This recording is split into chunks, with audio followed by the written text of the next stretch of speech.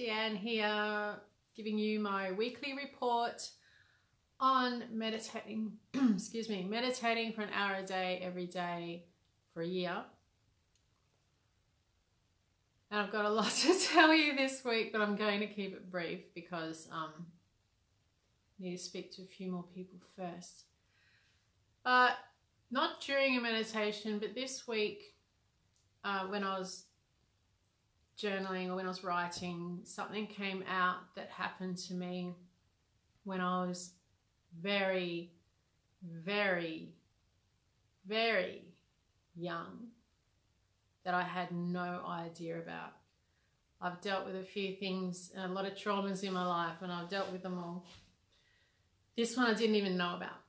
So that's why I can't tell you more about it yet. I've got to speak to a few more people first. And as I was writing, it was shocking to me, and I cried a bit afterwards. And what happened is I was able to cope with it because lots of reasons why actually because I've had a massive healing journey and I've learned lots of tools and I'm still on that journey. I've still got people helping me.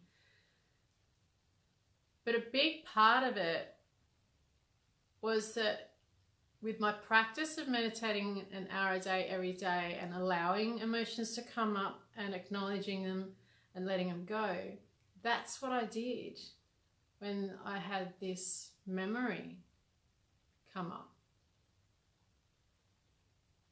Rather than freak out and try and push it back down and all that kind of thing, I actually let it come up.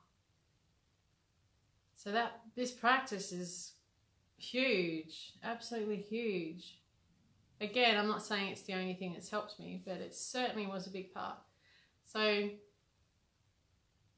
this is something I'm going to probably go through the whole grief process with. And since allowing the sadness to come up and go, I've also had anger come up and I've recognized that and released that. So it's really remarkable because the old me up until probably six months ago, we've lost it. Would have probably drunk too much and freaked out and been bedridden and depressed and it's incredible. The next day I got up and went to do a healing. And I, you could partially say that's shock, I guess, because I was still digesting the whole idea but I've still been okay. I've still been okay. It's crazy. It's good.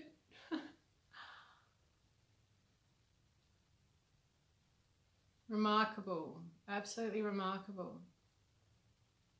And if you've been watching from the beginning, you'll know that very early on I was not reacting to things that trigger me as soon as I started practicing this. So to have something, a memory come up that I didn't even know, that is more horrifying than anything else I've been through, and be able to deal with it on my own.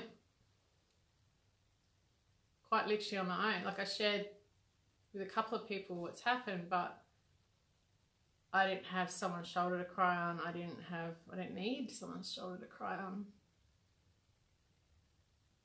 That's the biggest part.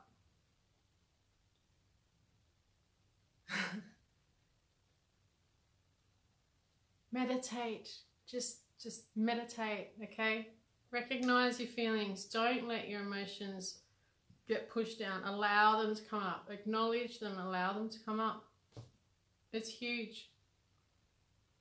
I'll see you next week. Bye.